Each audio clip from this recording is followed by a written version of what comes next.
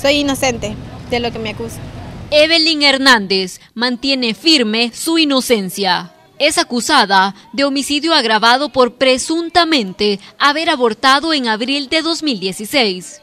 Este jueves se presentó al Centro Judicial Integrado de Justicia de Ciudad Delgado para continuar con la vista pública, proceso que nuevamente fue suspendido.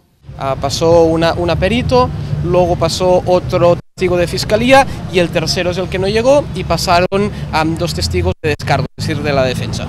En el presente caso no debería haber llegado nunca a un tribunal de justicia, ¿verdad?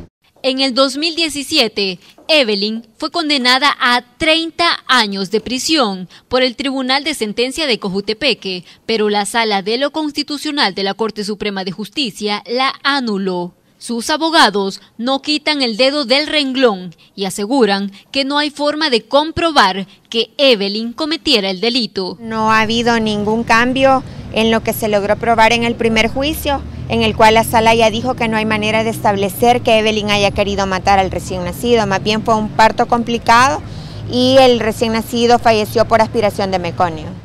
En la vista pública previa, la Fiscalía cambió la acusación diciendo que no mató al bebé de forma intencional, sino por omisión. Pero Evelyn asegura que no sabía que estaba embarazada. Este, solo le pido también a la Fiscalía que piense las cosas porque yo soy realmente inocente. También al juez, yo sé que él va a hacer justicia y primeramente Dios todo va a salir bien. ¡Abajo